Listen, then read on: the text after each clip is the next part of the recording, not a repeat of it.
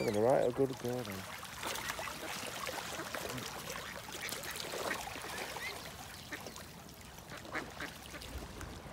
Eh. Uh, uh.